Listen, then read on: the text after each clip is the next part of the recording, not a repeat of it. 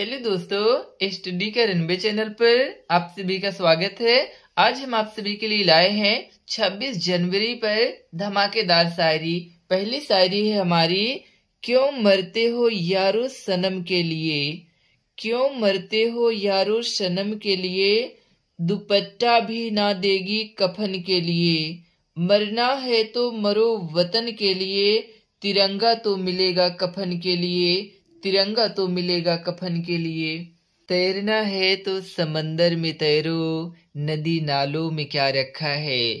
तैरना है तो समंदर में तैरो, नदी नालों में क्या रखा है? प्यार करना है तो वतन से करो, इन बेवफा लोगों में क्या रखा है? इन बेवफा लोगों में क्या रखा है?